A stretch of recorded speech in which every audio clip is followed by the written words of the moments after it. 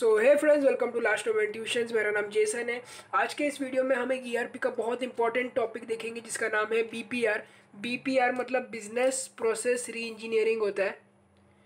तो ये टेक्नोलॉजी के बारे में हम देखेंगे कि ये क्या है, इसके बारे में पढ़ेंगे इस वीडियो में। तो चले स्टार्ट करते हम लोग। तो ये बीपीआर जो है ना, ये कोई ज़्यादा नई टेक्नोलॉजी नहीं है। ये नाइनटीन में फाउंड हुई एक टेक्नोलॉजी है और काफ़ी बिज़नेस को हेल्प करती है। तो बीपीआर है क्या और करता क्या है? तो बीपीआर मतलब बिज़नेस प्रोसेस री इंजीनियरिंग ये क्या करता है? ये कोई बिज़नेस करने का तरीका ना, उसके मेथड को ही चेंज कर देता है। अभी समझो मैं बिज़नेस करने की मेरी एक स्ट्रैटेजी है। कोई भी स्ट्रैटेजी रहने दो। पर एक पॉइंट के बाद मैं रियलाइज़ करता हूँ कि वो स्ट्रैटेजी से मेरे को पैसा नहीं आ रहा है। मेरा बिज़नेस ग्रो नहीं कर रहा है। तो मैं क्या करता हूँ, बैठता हूँ, मेरे पैनलिस्ट से बात करता हूँ और मैं मेरा बिज़नेस का करने का तरीका है ना, उसकी जो स्ट्रैटेजी ना, वही चेंज कर देता हूँ। और देखता हूँ कि मुझे प्रॉफिट आ रहा है कि नहीं। तो बिज़नेस प्रोसेस री इंजीनियरिंग यही करने में हमें हेल्प करता है।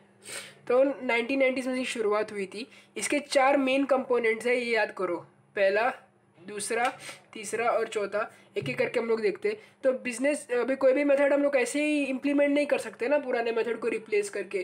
क्या पता पहले अपने को जितना प्रॉफिट आ रहा था उतना भी ना है बिल्कुल अपन लॉस में ही चले जाए। तो पहले अपने को पढ़ के एनालाइज करना पड़ता है कि किधर किधर अपने पुराने स्ट्रेटेजी में खामियाँ हैं और किधर किधर अपन भर सकते हैं। तो उसका प्लानिंग चार फेजेस में होता है। तो पहले क्या करते हैं? पहले हम लोग प्रोसेस को आइडेंटिफाई करते हैं।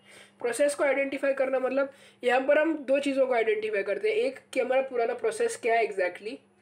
दूसरा, पुराने प्रोसेस में हम लोग को क्या डिसएडवांटेजेस फेस हो रहे हैं? समझ रहे हो आप? ये हम लोग को करना पड़ता है पहले। तो अपने को मालूम पड़ेगा कि मैं ये फलाना डिमकाना प्रोसेस यूज़ करता था और उसकी वजह से मेरे को ये ये मुश्किलें आ रही है मेरे बिज़नेस में। दूसरी चीज़, हम उसको रिव्यू करते। रिव्यू करते मतलब एक बार अपन उसमें थोड़ा सा अपडेट डालते मतलब कि चल मैं पुराने प्रोसेस में छोटा सा चेंज लाऊँगा तो क्या चीज़ चेंज होगा? इसको हम लोग एनालाइज करते मतलब छोटे छोटे चेंजेस में अपन एनालाइज करके देखते कि कुछ बदल रहा है क्या, कुछ हो रहा है क्या।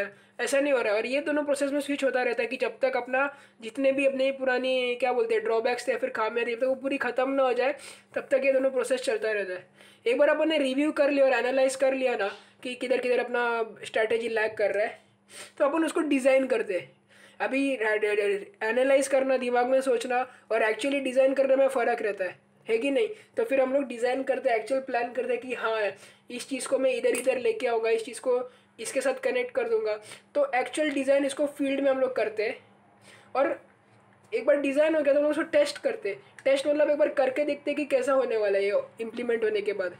तो अगर टेस्टिंग के बाद अगर सब कुछ सही हो गया मतलब अगर टेस्टिंग अपना सक्सेसफुल हो गया तो हम लोग अपना बिज़नेस का स्ट्रक्चर चेंज कर सकते हैं नो डाउट पर अगर अपना टेस्टिंग फेल हो गया, अपने को रियल वर्ल्ड में इतना प्रॉफिट नहीं हो रहा है तो फिर इम्प्लीमेंट करके फ़ायदा ही नहीं है ना। अपना पुराना बिज़नेस प्रोसेस री इंजीनियर ज़्यादा अच्छा है। तो यही है बीपीआर इसके चार फेजेस है। इसका जनरली थियोरी पूछा जाता है पाँच मार्क्स के लिए कभी दस मार्क्स के लिए भी पूछा जाता है केस स्टडी के साथ। तो मैंने इसका भी केस स्टडी लिया है, एक एग्ज़ाम्पल लिया है आपका, जो आप एग्ज़ाम में लिख सकते हो। वो मैंने फोर्ड मोटर कंपनी का लिया है। वो मैं आपको बताता हूँ। तो फोर्ड मोटर कंपनी आपको पता है बहुत फ़ेमस अमेरिकन ब्रांड है जो कार्स बनाता है। तो पहले वो लोग क्या करते थे? समझो एक परचेस है और एक परचेसर है और एक वेंडर है। परचेज परचेसर रॉ मटेरियल खरीदता है वेंडर और चीज़ें प्रोवाइड करता है। तो पहले क्या होता था? परचेसर इससे कुछ खरीदता था, ये चीज़ों को वापस देता था। पर ये जो चीज़ थी ना मतलब मैं इसको पैसे दे रहा हूँ और इसे मेरी, वो चीज़ जो मैंने खरीदी वो वापस ले रहा हूँ, इसमें बहुत खामियाँ थी। क्या यहाँ पर man in the middle attack हो सकता था? अगर बीच में कोई बंदा आ गया और इस परचेस ऑर्डर को कुछ मॉडिफाई किया या फिर कुछ भी साइन वाइन फेक किया या फिर कोई भी आ, क्या बोलते हैं मैल प्रैक्टिस किया फिर हैक वैक किया कुछ तो फिर ये कोई भी चीज़ को मैनिपुलेट कर सकते हैं समझ रहे हो? अब ये सेफ़ नहीं है ऑर्गेनाइजेशन के लिए। तो फिर फोर्ड ने क्या किया? इसका जो पूरा पुराना जो बिज़नेस स्ट्रैटेजी था उसको चेंज किया। कैसे चेंज किया? बिज़नेस प्रोसेस री इंजीनियरिंग यूज़ करके। तो वो लोग ने एक्जैक्टली नए स्ट्रैटेजी में क्या किया? देखो मैं बताता हूँ आपको। अभी समझो मैं परचेसर हूँ। मैंने ये वेंडर से रॉ मटेरियल ख़रीदा। अगर मैंने ये वेंडर से रॉ मटेरियल ख़रीदा तो वो मेरे को एक बिल देगा। वो ऑर्डर का एक देगा कि हाँ भाई, तूने मेरे को पैसा दिया, मेरे को तेरे को सामान देने का है। तो मेरा एक परचेस ऑर्डर उसके पास गया।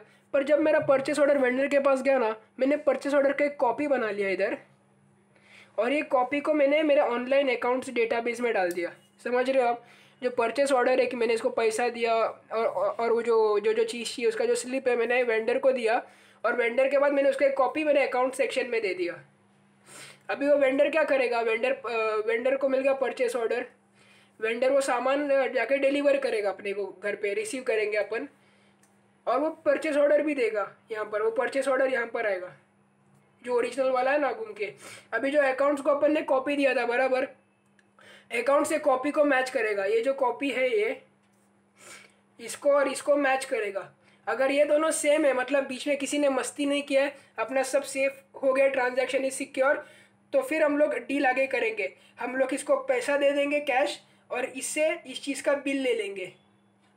तो फोर्ड ने थोड़ा सिक्योर स्ट्रक्चर डाल दिया था अपने ऑर्गेनाइजेशन में क्योंकि उसको पुराने अपने बिज़नेस स्ट्रेटेजी में बहुत सारे प्रॉब्लम्स फेस हो रहे थे। तो ये था छो, छोटा सा केस स्टडी आप चाहे तो एक डायग्राम एक बार बना लो तो क्या एग्ज़ाम में थोड़ा सा एक्स्ट्रा मार्क्स मिल जाएगा इसका। तो यही था मेरा आज का वीडियो बिज़नेस प्रोसेस री इंजीनियरिंग के बारे में। तो होप आपको समझा होगा कि बिज़नेस प्रोसेस री इंजीनियरिंग क्या है। अगर समझा रहेगा तो इस वीडियो को लाइक करके शेयर ज़रूर कर देना। मैं ई आर पी का और वीडियोज़ बनाने वाला हूँ तो चैनल को भी सब्सक्राइब करके रखना। Thank you for watching all the best for exams